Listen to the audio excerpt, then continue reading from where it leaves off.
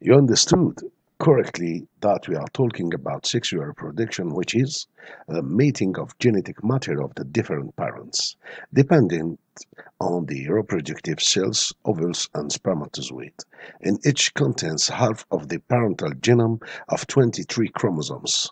Such reproduction is the basic of evolution and genetic variation. Sexual reproduction is necessary for the survival of all species, such as humans. For us, humans, each reproduction cell contains 23 chromosomes, half of the initial complete set, and chromosomes from one parent must pair with the same chromosome of the other parent. Chromosomes unit to brood genetic information before splitting new ones in two, then to form four reproductive cells with different genetic background. This process ensures variation in the reproduction cells. It, it is this process that makes you different from your sister or brother.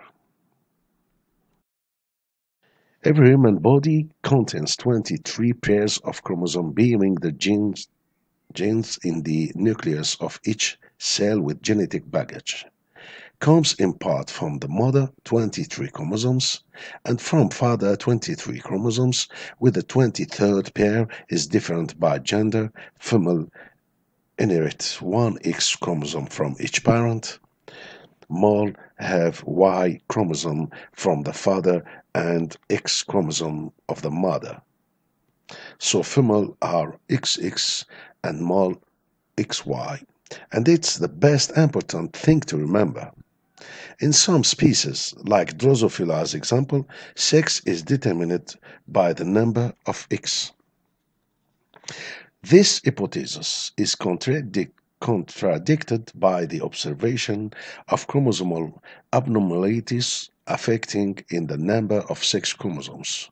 Heterosomal abnormalities, we observe a number of abnormalities in the number of sex chromosomes presented by some individual which present a male or female phenotype, which means that the phenotypic sex of the individual does not seem to be related to the number of X's, but rather to the presence or absence of Y. This gives a fundamental role in determining sex. Sexual inversions. We observe some rare cases of birth of inter intersexed individual that is presenting a sexual inversion. Their sexual phenotypic does not correspond to the sex chromosomes observable in their karyotype. Male XX, 1 in 20,000 birth. Female XY, 1 in 10,000 birth. This phenomena is explained by events of mutation of translocation. In fact, the X and the Y chromosomes present homologous regions at the ends of their arms, pseudo-autosomal region pair 1 on the short arm and pair 2 on the long arm. Sexual inversion thus come from, in fact, the translocalization of a factor of the level of the pair 1 region during meiosis, cell multiplication, by crossing over. Between the X and Y chromosomes, this factor was named testis determining factor, TDF located just below P1 or homologous region 1. Later, it was shown that the TDF was actually a single gene called SRY, sex determining region. This gene is expressed during the sexual development of the gonads in the male. In the case of translocation, it would be disintegrated on the Y chromosome or added on the X chromosome, say mutations in, in the gene SRY, making it no functional, leading to the obtaining of individual XY but or of a formal phenotype.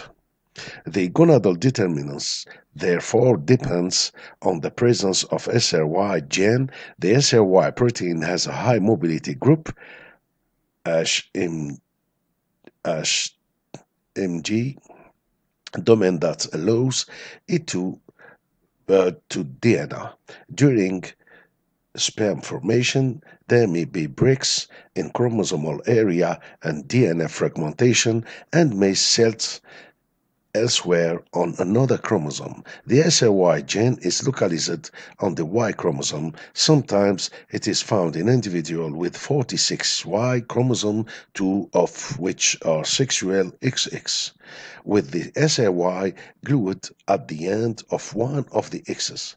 To simplify things, so we have XY individual but female phenotypic uh, but female phenotype, and XX individuals, but of male phenotype.